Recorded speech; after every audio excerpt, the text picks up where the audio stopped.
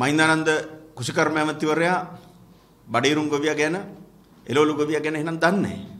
එතකොට අපේ රටේ වැලිමඩ නුවරිල්ලිය බණ්ඩාරවෙල ඒ එළවලු වගා කරන ගොවියට පහුගිය කාලේ පුරාටම පොහොර තිබුණේ නැහැ. බෙහෙත් තිබුණේ නැහැ.